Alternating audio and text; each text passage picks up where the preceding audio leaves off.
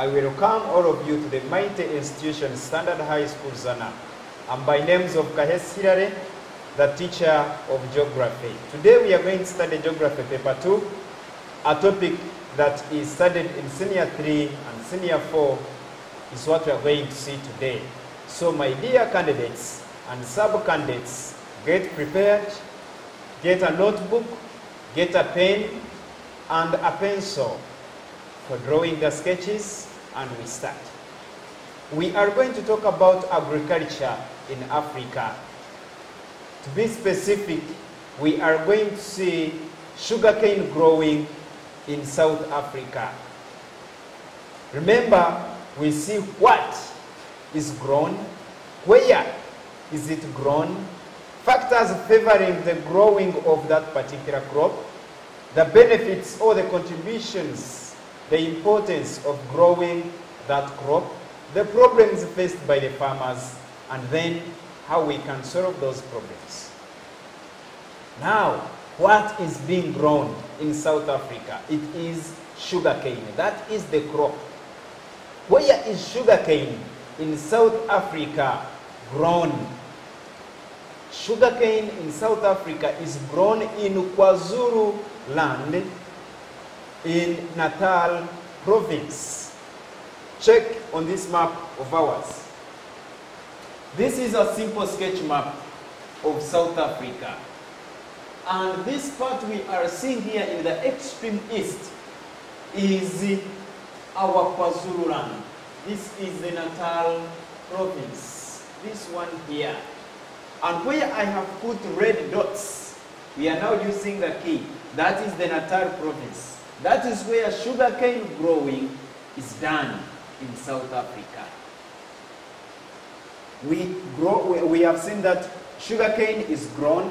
Where is sugarcane grown? In Natal province. And now we are going to extract this part of the Natal and then we see it as it is here. This is the sketch map of the Natal province showing areas where sugarcane is grown. Check where we are having the red dots. These ones. These are the areas where sugarcane is grown in South Africa, be specific, in the Natal province. And check some of other features, especially the drainage features around the areas where the sugarcane is grown. We are going to see that the area is full of many rivers, like River Umuzikuru, rivers Mgeni, rivers Tugera, rivers uh, like Muforosi, River Mukuse, and others. We can see Lake St. Lucia also in the north of the Natal province, meaning that the land is well drained, the land has enough water, the water is reliable, hence supporting the growing of sugarcane in the province. These towns here, the black dots on our sketch map, the Empangeni, Entumeni, Durban, Darnall, and others. These are the refining centers. This is where the sugarcane, when it is cut, it is taken to these centers where you're seeing the black spots for processing, where we are going to get the finished products. These will act as the industries that use the sugarcane as a raw material to get different products. Now we are going to talk about the process of planting the sugarcane. How is the sugarcane planted? What do we plant? Do we plant the seeds? Do we plant uh, the, the leaves? Do we plant the stem? What do we plant? Automatically, we plant the stems. So these stems are chopped, the stems of the sugarcane are chopped in the length of 40 to 45 centimeters. Then immersed in hot water of about 50 degrees Celsius. what is the importance of putting the stems that are going to be planted in the hot water to kill those uh, the insects to kill the, the uh, to remove the diseases from those stems before they are planted otherwise we can plant those stems when they are infected and it will end up giving us an infected product so when they are immersed in hot water the vectors are killed for around two hours then we remove those uh, stems of the sugarcane that are of around 40 centimeters in length, and then we plant them in the soil. It will take those stems a period of about nine months. Then the harvesting period can start. Harvesting is done between 9 to 20 months. And harvesting is done in intervals so that we can ensure harvesting all year round. Not harvesting everything and you keep the garden empty of the sugar canes. That is the process of planting and harvesting the sugar cane. We have seen where the sugar cane is grown. We have seen how the sugar cane is grown. And now we are going to see the factors that favor the growing of sugar cane in Natal province. Those conditions, remember factors, may be physical, may also be human. So let's start with the physical factors. Physical factors that have encouraged the growing of sugarcane in South Africa. As usual, when we are writing the factors, endeavor to include a right adjective. Right adjective. Tell us that factor you're talking about. And then the use of that factor. I will give an example. It's about soils. The factor is soil. So we are going to say presence of fertile. So fertile is the adjective that will be attached on soil. The soil alone cannot support the growth of sugarcane, but the fertile soil will support the growth of sugarcane. So we are going to say presence of fertile soil.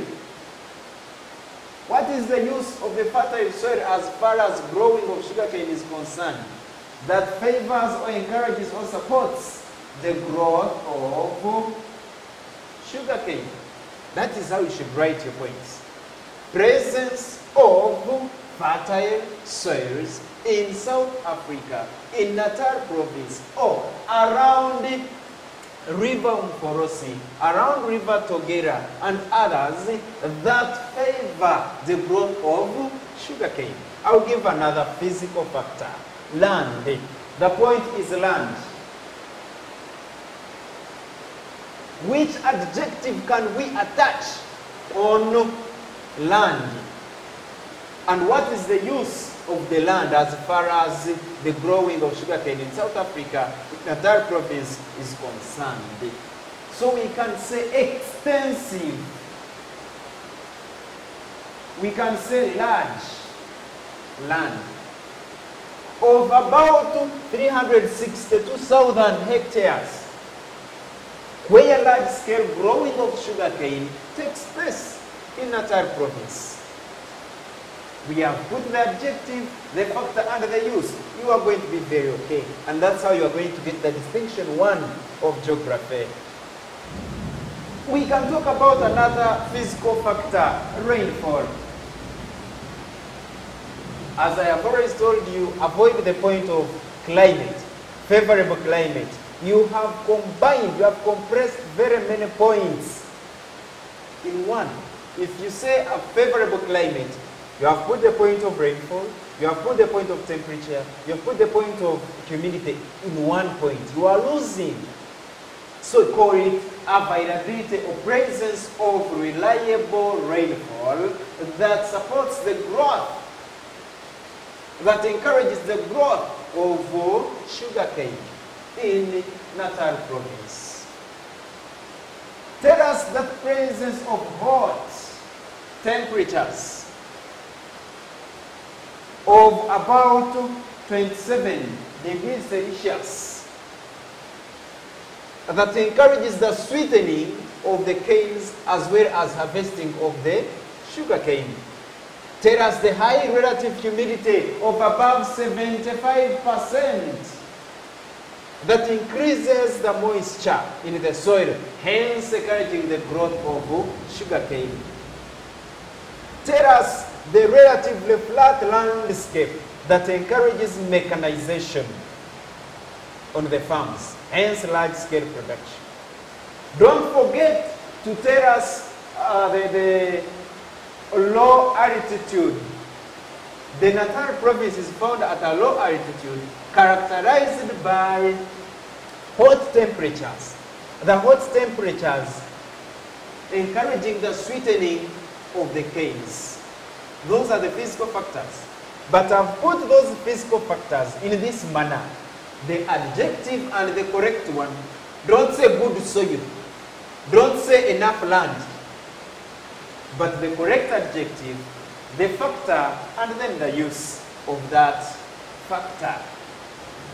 In a summative way, we have talked about fertile soils, we have talked about extensive land, we have talked about reliable rainfall, we have talked about hot temperatures, we have talked about low relative, uh, uh, we have talked about low altitude and relatively flat landscape.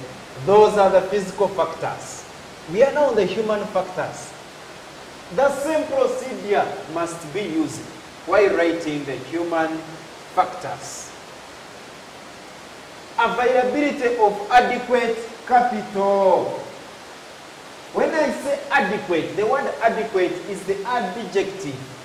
Then capital is the factor. And what is the use of the capital? To buy modern machinery and for paying the workers. Tell us that availability of skilled and semi-skilled labor provided by the nationals of South Africa for working on the plantations. So the point is labor, but I've said skilled and semi-skilled. I can call it adequate labor. We cannot forget to talk about the market because after growing the sugarcane, if you don't have the market, you cannot get in where to the sugarcane. So we are going to say ready market or large market, abundant market where the sugarcane is grown and other factors and other factors. Now, what you need to do is writing those factors in the correct way and manner, following the correct adjectives and factors and then the use. Send to my email as you're seeing on your screen and then I will mark you and send.